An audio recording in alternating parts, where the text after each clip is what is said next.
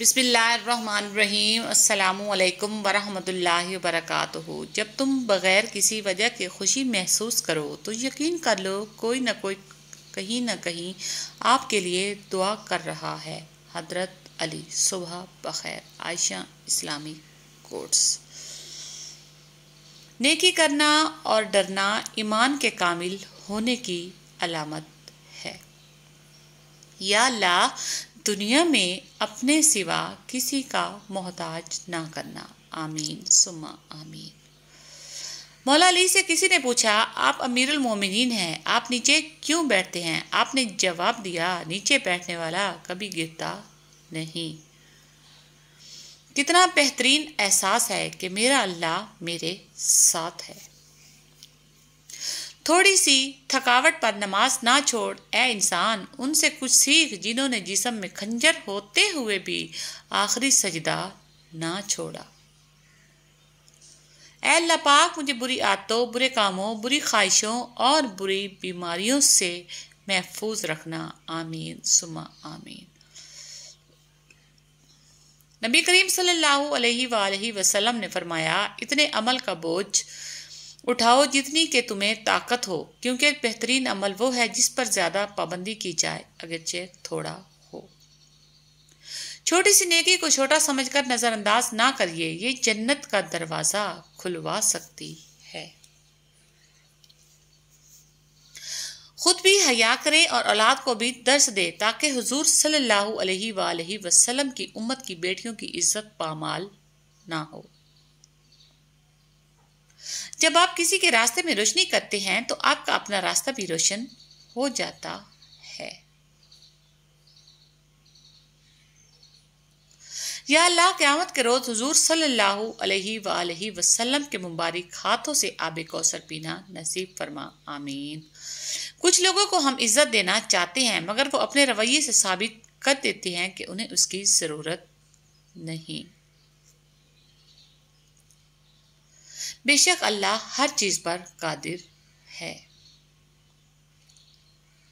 اگر کبھی زندگی میں ایسی تکلیفوں سے گزرو جس کا کبھی گمان بھی نہ کیا ہو، تو اطمینان رکھنا اور تمہیں راحتیں بھی ایسی عطا کرے گا جن کا کبھی خیال بھی دل میں نہ کیا ہو۔ یا اللہ، تو ہی مسبل اسباب ہے، بہترین سبب بنانے والا ہے۔ یا رب رحیم، ہمیں وہی راستے سجانا جو بہتر ہو اور جن کی تکمیل ہو اور خیر سے بھرپور ہو۔ یا الہی، ہمارے کاموں کو ادھورا نہ چھوڑنا، اپنے امر کن سے مکمل فرمانا۔ آمین۔ کوئی سجدہ ایسا بھی مل جائے، میں سچ چکاؤں خدا مل جائے۔ خود کو ایسا بناؤ کہ جہاں تم ہو، وہاں تمہیں سب پیار کریں۔ جہاں تم سے تم چلے جاؤ، وہاں تمہیں سب یاد کریں۔ اور جہاں تم پہنچنے والے ہو، وہاں سب تمہارا انتظار کرے۔ اللہ والوں سے تعلق رکھو، طبیعت ٹھیک رہے گی۔ یہ وہ حکیم ہے جو لفظوں سے علاج کرتے ہیں۔ مجھے لوگوں سے کسی چیز کی توقع نہیں ہے کیونکہ عزت، نام اور شہرت سے اللہ دیتا ہے۔ سب اللہ دیتا صبر آ جائے تو پھر کچھ بھی کھو جائے، تکلیف نہیں ہوتی۔ بس دل شکر کا ورد کرتا ہے۔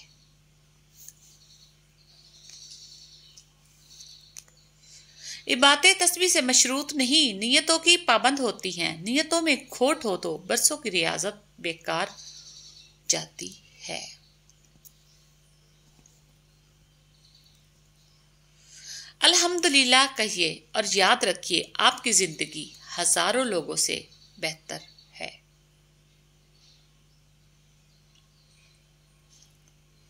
مدد کرنا سیکھیے، فائدے کے بغیر، ملنا جلنا سیکھیے مطلب کے بغیر آجی سے چلنا سیکھیے، غرور کے بغیر، زندگی جینا سیکھیے، دکھاوے کے بغیر۔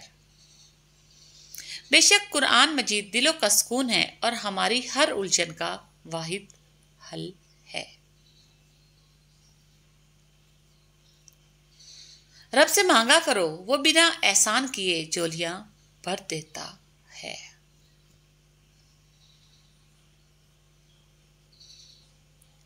مومن کو مال کی نہیں، اعمال کی، نفس کی نہیں، روح کی، دنیا کی نہیں، آخرت کی فکر رہتی ہے۔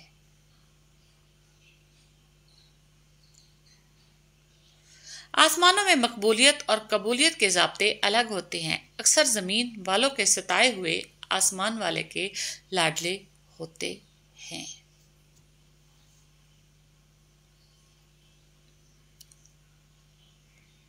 اللہ اور اس کے رسول کی اطاعت کرو اور آپس میں مت جگڑو کہ بکھر کا کمزور ہو جاؤ گے۔ تعلق۔ تعلق میں دوسرے سے اپنے جیسا ہونے کی توقع مت رکھو۔ مت کرو کیونکہ تم کسی کا سیدھا ہاتھ اپنے سیدھے ہاتھ میں پکڑ کر نہیں چل سکتے۔ خوبصورت لوگ لازمی نہیں کہ اچھے ہوں، لیکن اچھے لوگ ہمیشہ خوبصورت ہوتے ہیں۔ رسول اللہ صلی اللہ علیہ وآلہ وسلم نے ارشاد فرمایا، سب سے افضل صد، سب سے افضل صدقہ پانی پلانا ہے۔ اگر آپ میرے چینل پر نہیں ہیں، چینل کو لائک، شیئر، سبسکرائب کیجیے گا۔ تھینکس فار واچنگ اللہ حافظ۔